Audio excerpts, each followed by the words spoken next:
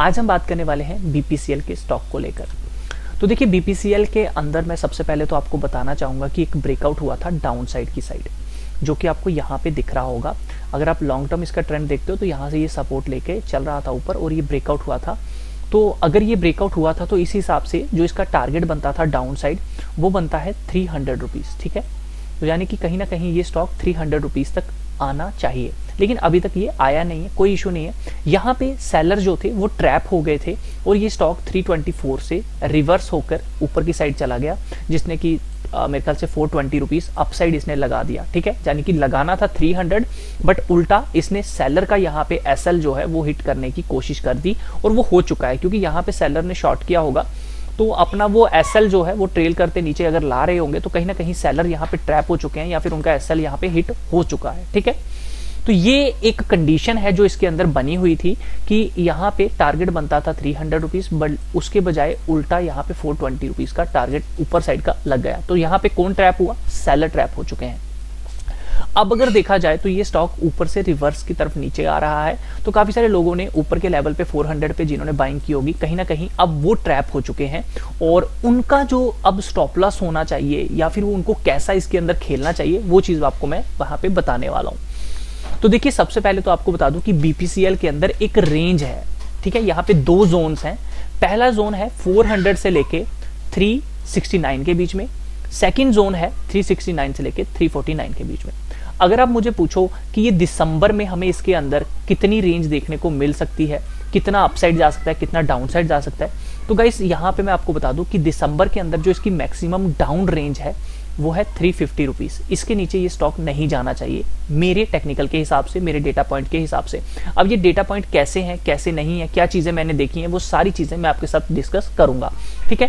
तो down side जो मैं मानता हूँ बीपीसीएल के अंदर, वो है थ्री फिफ्टी रुपीज़ और अपसाइड अगर आप मुझसे पूछो तो वो है फोर हंड्रेड रुपीज़ ठीक है? तो ये एक फिफ्टी पॉइंट की रेंज है जो बीपीसीएल के अंदर आपको देखने को मिल सकती है। अब बात करते हैं यहाँ पे बाइंग कहाँ इनिशिएट करें सेलिंग कहाँ इनिशिएट करें। तो अगर आप ध्यान से देखोगे तो कहीं ना कहीं बीपीसीएल के अंदर एक ये एक जोन है ट्राइंगल पैटर्न है, जो आपको देखने को मिल रहा है इस लेवल पे, ठीक है? तो जब तक ये ट्राइंगल पैटर्न ब्रेक नहीं होता, हम लोगों को तो बाइंग नहीं करनी चाहिए, ठीक है? या तो ये अब यहाँ से अपसाइड जाना चाहिए, या तो ये यहाँ से डाउन साइड जाना चाहिए। तो ये जो ट्राइंगल पैटर्न है, ये कब तक ब्रेकआउट आ सकता है? ये ब्रेकआउट आ सकता है पंद्रह जनवरी 2020 तक, ठीक है? तो अभी उसके पहले तो मुझे लगता नहीं है ब्रेकआउट आएगा, लेकिन आ जाए तो बड़ी अच्छी बात है। लेकिन अब बात करते हैं जिन्होंने यहाँ पे बाइंग की है, वो क्या करें? तो दोस्तों, सबसे पहले तो मैं आपको ये चीज़ बताना चाहूँगा कि इसके अंदर अगर किसी को बाइंग करनी है हाल फ़िलहाल इस लेवल पे तो सबसे बेस्ट लेवल है थ्री सेवेंटी रुपीज़ का। ये सबसे अच्छा जोन होगा बाइंग के लिए। थ्री सेवेंटी रुपीज़ बीपीसीएल का बहुत अच्छा प्राइस है। अगर आपको यहाँ पे मिलता है तो ये काफ़ी अच्छा रहेगा। इस केस में अगर आपको एक स्टॉप लॉस लेना है तो आप अपना स्टॉप लॉस यहाँ पे थ्री फिफ्टी रुपीज़ का ले सकते हैं। लेकिन ये जो थ्री फिफ्टी रुपीज़ का आपको एस लेना है, वो किस तरह से लेना है? ये आपको ऐसा लेना है कि ये थ्री फिफ्टी रुपीज़ के नीचे अगर दो रेड कैंडल क्लोज दे देता है तो आपको यहाँ पे एग्जिट कर देना चाहिए बीपीसीएल में से। ठीक है, मैं आपको फिर से बता दूँ। जैसे कि आप यहाँ पे देख पा रहे हैं, ये दो रेड कैंडल्स हैं। अगर इस तरह से मतलब 350 के नीचे ये दो कैंडलें क्लोज दे देता है तो आप यहाँ पे एग्जिट कर सकते हो। या फिर अगर आप इतना रिस्क ले सकते हो, आप लॉन्ग टर्म के लिए इसको रखना चाहते हो तो फिर मैं आपको बोलना चाहूँगा, आप इसके अंदर और भी बाइंग कर सकते हैं 350 के नीचे। ठीक है? और मैक्सिमम जो आपको बिग स्टॉप लॉस रखना है लॉन्ग टर्म के बेसिस पे, वो दोस्तों ये वाला प्राइस रखना है। मतलब आप इसके अंदर मैक्सिमम जो बिग स्टॉप लॉस रख सकते हो, वो थ्री ट्वेंटी फाइव रुपीज़ का यहाँ पे रख सकते हो। इससे बड़ा एसएल आपको बिल्कुल नहीं रखना है, क्योंकि अगर 325 टूटा तो फिर ये 400 तक जा सकता है। तो अगर किसी को 400 तक होल्ड करना है तो डेफिनेटली कर सकता है। पहला जो स्टॉप लॉस अभी मैंने आपको बोला, वो है थ्री फिफ्टी रुपीज़ याद रखिएगा, दो कैंडल्स रेड क्लोज होनी चाहिए, इसके नीचे तभी आपका एसएल हिट होगा अदरवाइज़ नहीं, और मेरे को लगता नहीं है कि ये हो पाएगा। इसीलिए मैंने आपको 350 सजेस्ट किया है। अब बात आती है यहाँ पे कि मैं थ्री सेवेंटी रुपीज़ क्यों बोल रहा हूँ कि एक बाइंग होनी चाहिए। सबसे पहली बात तो टेक्निकल बेसिस पे अगर आप देखोगे तो ये एक जोन है थ्री सेवेंटी रुपीज़ का। यहाँ से ये काफ़ी बार ट्रेड कर चुका है, यहाँ से ये ऊपर जा चुका है। तो अब कहीं ना कहीं थ्री फिफ्टी रुपीज़ आपका जो है एक स्ट्रॉन्ग सपोर्ट के तौर पे काम करेगा। तो अगर कोई थ्री फिफ्टी के पास बाइंग करता है तो वो मैक्सिमम अपना जो एस है वो थ्री ट्वेंटी फाइव रुपीज़ का लेगा। अप साइड टारगेट हमारा वहीं रहेगा फोर हंड्रेड रुपीज़ या फिर फोर थ्री नाइनटी रुपीज़ के करीब करीब ठीक है? ये बात ध्यान रखिएगा। अब मैं आपको कुछ इंपॉर्टेंट चीज़ें बताना चाहूँगा। उस चीज़ को ध्यान से समझ लीजिएगा। देखिए बीपीसीएल के अंदर अगर आप 90 दिनों का वी प्राइस देखते हो तो वो near around three seventy seven rupees बनता है, जो कि मैंने एक्सेल सीट में डेटा डाउनलोड नोटिस करके रखा हुआ है। अगर आप मुझे पूछो, यहाँ पे 21 दिनों का कितना एवरेज प्राइस बनता है तो वो बनता है three eighty rupees VW price 13 दिनों की एवरेज के हिसाब से 377.60 है। तो जानी कि इस स्टॉक में 380 से 70 के बीच में एक अच्छी बाइंग आपको देखने को यहाँ पे मिल सकती है, ये बात ध्यान रखिएगा। यानी कि कुछ दिनों के अंदर ये स्टॉक आपको रिवर्सल यहीं से एक देने को तैयार हो रहा है, ऐसा मेरा मानना है कि आपको कहीं ना कहीं अभी तीन सत्तर से एक रिवर्सल जो है वो अपसाइड का देखने को मिल सकता है, ठीक है? तो ये बात थोड़ी सी ध्यान रखिएगा। इसी के साथ मैं आपको कुछ और डेटा पॉइंट्स यहाँ पे बताना चाहूँगा। अगर आप बीपीसीएल की ऑप्शन चेन देखते हैं तो यहाँ पे सबसे ज़्यादा हाईएस्ट ओपन इंटरेस्ट और ट्रेडेड कॉन्ट्रैक्ट जो अभी चल रहा है, वो फोर हंड्रेड रुपीज़ है। तो यानी कि फोर हंड्रेड की जो कॉल है, वहाँ पे मोस्ट एक्टिव कॉल राइटर बैठे हुए हैं। तो फोर हंड्रेड के ऊपर जाना थोड़ा सा मुश्किल है, जैसा कि मैंने आपको टेक्निकल बेसिस पे भी बता दिया। वहीं दूसरी तरफ़ अगर आप पुट साइड मुझे पूछते हो तो यहाँ पे सबसे ज़्यादा हाईएस्ट ओपन इंटरेस्ट आपको 350 पे ही मिल रहा है। तो मुट राइटर कहाँ एक्टिव है? यहाँ पे 350 पे। तो एज पर ऑप्शन डेटा भी हमें यही सजेशन मिल रही है।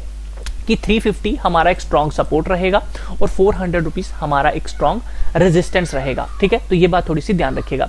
अब बात करते हैं यहाँ पे थोड़ी सी डिलीवरी डेटास की। तो यहाँ पे अगर आप स्टॉक का प्राइस देखोगे तो वो डाउन की साइड जा रहा है बट कहीं ना कहीं हमारा जो टर्नओवर है ट्रेडेड क्वांटिटी है, वो डिक्रीज होती जा रही है। ये बात थोड़ी सी आप ध्यान में रखिएगा। पिछले आठ, पाँच, तेरह दिनों की अगर आप देखते हैं, ठीक है तो ये डिलीवरी डिक्रीज हो रही है। लेकिन यहाँ पे अगर आप डिलीवरी परसेंटेज देखोगे तो वो इंक्रीज हो रही है। बिग प्लेयर की एक्टिविटी देखोगे तो वो भी इंक्रीज हो रही है। तो कहीं ना कहीं यहाँ पे एक बाइंग जो है, वो चल रही है। इस लेवल पे ये बात ध्यान रखिएगा। तो आपको अपसाइड यहाँ पे देखने को मिल सकता है 370 से, ये मेरा मानना है। हाँ पिछले तीन दिनों की थोड़ी सी यहाँ पे डिलीवरी परसेंटेज जो है वो इंक्रीज हुई है टर्नओवर इंक्रीज हुआ है तो ये हमारे लिए थोड़ा सा चिंताजनक बात है। इसको हम तभी मैं कह रहा हूँ कि थोड़ा सा वेट कीजिए। अभी यहाँ पे अगर ये कंसोलिडेशन करना शुरू कर देता है और डिलीवरी परसेंटेज कम हो जाती है तो इसका मतलब यहाँ पे बाइंग होना शुरू हो जाएगी। तो हमेशा अब आप एक ही बात याद रखिए कि 350 जो है वो इस मंथ इसके लिए स्ट्रॉन्ग सपोर्ट होगी। ये बात ध्यान रखिएगा। और अपसाइड 400 एक रेजिस्टेंट जोन होगा। बाइंग इनिशिएट करनी है तो थ्री सेवेंटी रुपीज़ के करीब करीब आप बाइंग कर सकते हो। 370 से लेके 360 के बीच में आप एक अच्छा आपके लिए मौका होगा इसको बाय करने का। लेकिन मेरे को लगता नहीं है कि ये 370 के नीचे आपको ज़्यादा ट्रेड होता हुआ दिखेगा। ठीक है? तो मैं सबको यही सजेशन देना चाहूँगा, जो मेरा टेक्निकल कहता है, मेरा एक्सपीरियंस कहता है, कि इसके अंदर हमें थ्री ट्वेंटी फाइव रुपीज़ का एस एल अगर कोई लेना चाहता है तो ले सकता है, लेकिन मेरे हिसाब से आपको जो एक स्ट्रॉन्ग एस एल यहाँ पे देखने को मिल रहा है, वो आप अभी अगर इस ट्रेंड लाइन के हिसाब से चलते हो तो आपको 340 के नीचे स्टॉप लॉस नहीं रखना चाहिए। आप मैक्सिमम यहाँ पे थ्री फोर्टी रुपीज़ का एसएल जो है वो लेकर चलिए, क्योंकि मेरे हिसाब से अगर ये 340 के नीचे गया तो फिर ये आपको 300 तक के टारगेट यहाँ पे देने की कोशिश कर सकता है। तो आप एक शॉर्ट रन या फिर अगर स्विंग ट्रेड खेलना चाहते हैं तो 340 का एक स्ट्रॉन्ग रेजिस्टेंस है इसके लिए, वो आप सपोर्ट जोन है तो थ्री फोर्टी रुपीज़ आप सपोर्ट लेके चलिए। बाइंग इनिशिएट करनी है तो 370 से 360 के बीच में आप जितना बाय करना चाहे कर सकते हैं 340 का एसएल रखिए। अपसाइड आप यही वाला टारगेट जो है फोर हंड्रेड तक का लेके चल सकते हैं। इससे ज़्यादा आपको जो टारगेट है, वो नहीं मिलने वाला है अभी के लिए। हाँ जब भी ये ट्रेंड लाइन टूट जाएगी, जैसे कि मैंने आपको कहा, अठारह जनवरी तक तो जैसे ही दोस्तों आपको ये ट्रेंड लाइन जो है 400 के मतलब ये वाला लेवल जब भी टूटने को मिलेगा, मैं आपको अपडेट कर दूँगा। तो आपको बड़ी तेज़ी के साथ ये एक मूवमेंट जो है 400 की देगा और अगर 400 के ऊपर निकला तो फिर ये बड़ी तेज़ी के साथ आपको 480 के टारगेट दे सकता है, क्योंकि इसके ऊपर ज़्यादा आपको रेजिस्टेंस यहाँ पे देखने को मिलेगा फोर के पास। तो फोर के ऊपर आप फोर का टारगेट लेके चलिए, और उसके बाद फोर का टारगेट यानी कि फोर्टी फोर्टी पॉइंट ही आपको यहाँ पे देखने को, यहाँ पे मिल रहे हैं। और डाउन साइड भी वही चीज़ हमें रेंज जो है वो देखने को मिल रही है। तो अभी के लिए आप थ्री का एक स्टॉपलस लेके चलिए, अगर 340 के नीचे ये ट्रेड करना शुरू कर देता है तो आपको 300 के टारगेट नीचे की तरफ़ फोर पॉइंट का टारगेट जो है वो मिल जाएगा। तो ये बात थोड़ी सी ध्यान रखिएगा। तो दोस्तों, ये है मेरा पर्सनल एक्सपीरियंस मेरी पर्सनल स्टडी जो मैंने आप सबको यहाँ पे बताई है। मैं किसी को राय, किसी को सलाह ये नहीं बोलूँगा कि आप बाय कीजिए ही कीजिए। मैं आपको यही बोलना चाहूँगा, आप एक बार अपने फाइनेंशियल एडवाइजर से ज़रूर राय लीजिए अपने रिस्क को मैनेज करने के लिए, क्योंकि यहाँ पे रिस्क जो है, वो आपका मैं नहीं ले सकता, वो आपके फाइनेंशियल एडवाइजर की राय से ही चलेगा। तो सोच कर समझ कर इन्वेस्ट कीजिएगा रिस्क